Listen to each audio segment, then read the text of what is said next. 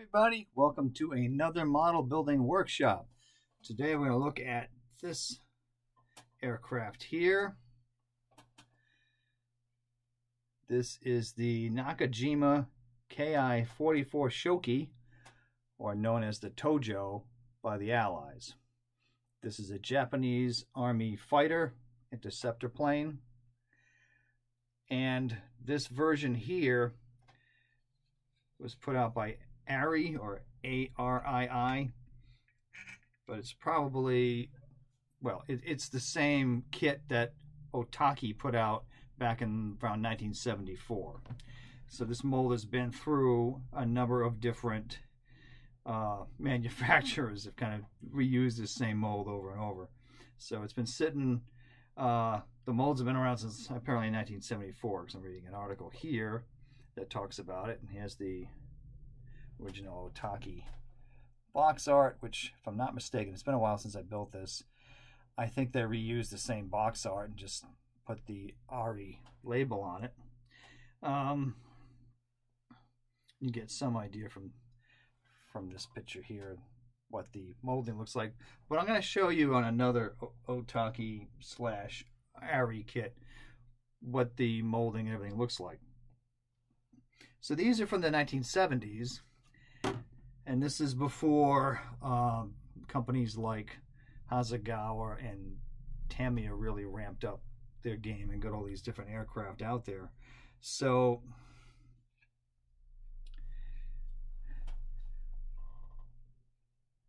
So it's got the shape of the plane down pretty well. But some of the details it's not it's not the same quality basically as a Tamiya or Hasegawa kit would be. Some things are a little bit simplified, a little rudimentary, you know, like the uh, elevator flaps here and the rudder.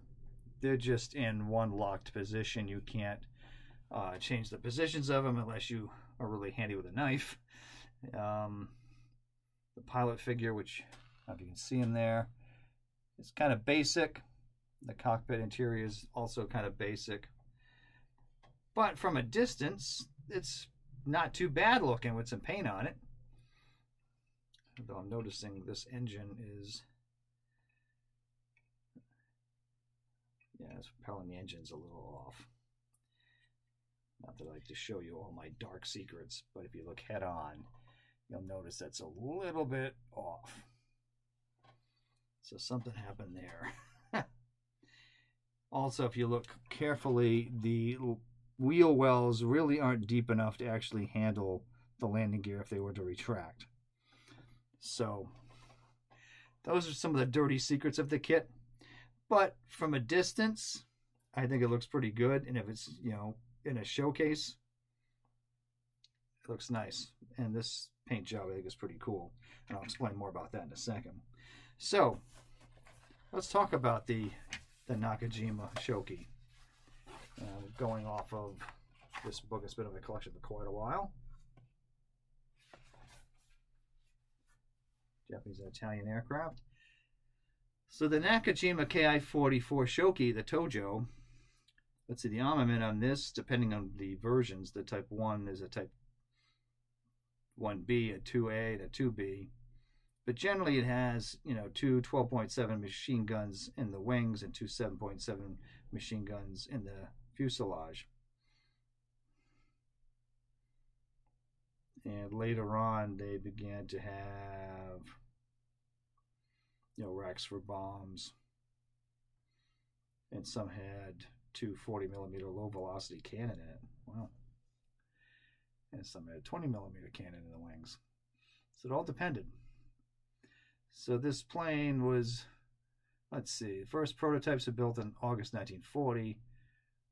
Production of the first type was in May 1942, and then 1943, and then just the 2B was December of 1944.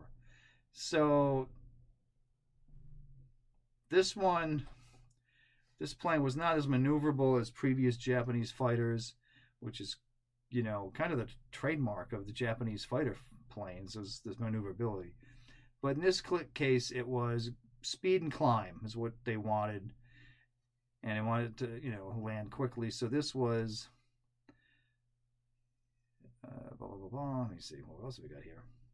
Took a while to get this plane going um, as far as production because, like I said, it mentions there's some prototypes, but this thing probably didn't enter uh, service until until later. So the shoki is, means demon in Japanese. And they were effective against Allied bombers. So that's what the speed and you know the climb was to get them up into the air to be able to intercept the B-29s. That's pretty much what this plane was really designed to do. So that's what's claimed to fame was as an interceptor of Allied bombers. And this particular example here, this is a really great series if you're really into Japanese aircraft. There's a good number to, to this series because uh, it gets really in depth into the whole range of Army and Navy, every type of aircraft imaginable. Um, but to be fair, you know, this book talks about the engines and the history and the technical aspects. But this book is really about squadrons and markings and painting options. So if you're a model builder like me, this is fantastic. But if you want history of airplanes themselves, this doesn't really cover that so much, but it's talking about its use in different squadrons, you know, and the paint and markings. What's good about this is that it tends to decipher some of these squadron markings that can be complicated to understand. Um, I don't know if I'm going to be able to give you an example of that here, but but anyway. So this one, yeah, this is taken from this here. As you can see, it's based on this aircraft here, which I was immediately drawn to the color scheme. I really like that camouflage. Uh, a lot of these were in overall silver, um, but this one I haven't seen a camouflage like that before in a Japanese fighter, so I just had to do it, you know. And so this is the commander of the uh, Hikudai sec, the second Shutai, if I'm saying this right, of the Hikodai 85th Sentai. I'm not good at Japanese, so hopefully I'm not murdering the pronunciation. So this was used in Canton, China in the summer of 1944. So that's what that is. And here she is here. So one of the big advantages to getting an ARII or Otaki kit is that the price tag is really low. because Hasegawa and Tamiya, well, Tamiya can be reasonable, you know, but some of the Hasegawa they get they can get pricey, and you can get these in some hobby shops or online. You can get these as low as eight dollars plus shipping, but I mean, I haven't searched for one recently, but that's what I paid for this.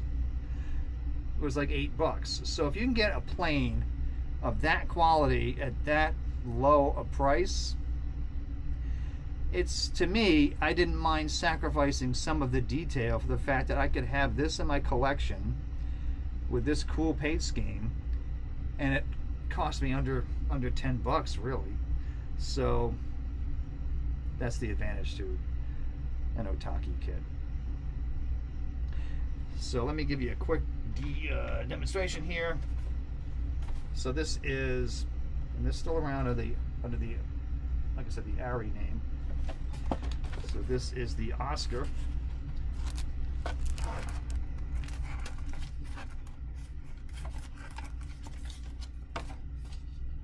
And there are some pros and cons to these kits, as I mentioned. So take it or leave it. This is what an instruction sheet looks like, if I can get this to let go.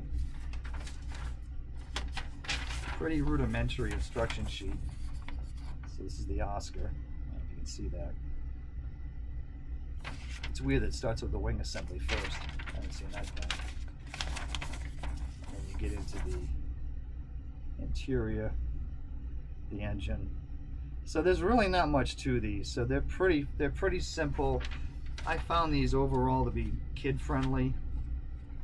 Uh, I did run into a problem with one where when I put the pilot in and then I went to put the canopy on, there was no way that canopy glass is going to fit. Uh, that was really frustrating. So I literally had to do a lot of surgery to the pilot's head and everything to get the canopy on. So, oof, test fitting and checking all these parts out way, way in advance helps. Uh, the painting, is, you know, it's not a whole lot of detail. I mean, uh, not detail, but uh, details of, as far as you know what these decals stand for. The decals are pretty good, by the way, but they don't tell you what they are. You have to get a book or, or try to source this information because there's no real breakdown. I don't know if the Japanese uh, text tells you anything else because it shows you the two marking options here on the side. Actually, let's look at that. Okay. So you see the marking options on the side. Here's the decal sheet. I don't see a double zero for that plane, do you? I see a number 45, which I guess you're going to make for the same squadron. Um, yeah, not everything is actually there. And, and there's another squadron emblem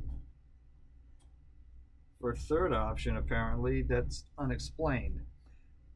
So you're going to need to do some digging to get an idea of what some of these are. Yeah, because you can't do double zero isn't there. and that's on the box top too. Look how cool that is, but we don't give you the markings for that one. Uh-huh. So you have uh, the 45 with a red stripe. It's not even the same squadron. So anyhow, if you can deal with that, the you know surprise, then you're all set, right? But a little bit more here. I'll show you just a second. So the moldings, oh, I don't know. You be the judge. Keep in mind the price is really low.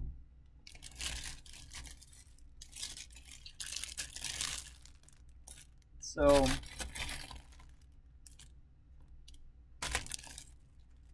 don't know if you can see the pilot there. I'll try to get him to you. Uh, where is he? It's driving me crazy. It's right there. So, eh, not the best detail. Engine cylinders and all that, or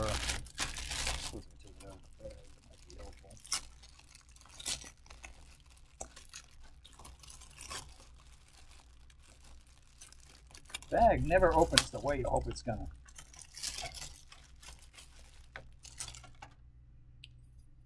All right, so the engine pieces, you know, those cylinders could be better, right?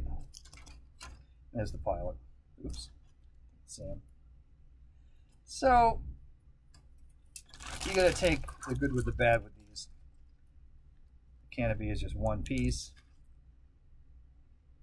it's a little difficult to try to mask and paint those things. They don't have the best um,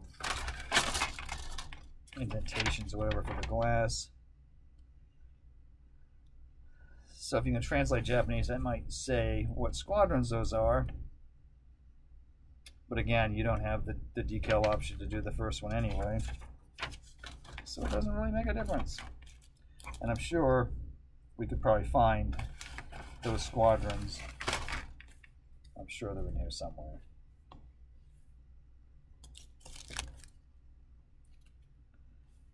We could probably find them in here if we wanted to. I'll do a very quick look because I don't want to keep you guys tied down for very long. Oh, yeah. Is that that one? Oh, no. No, it isn't. Okay.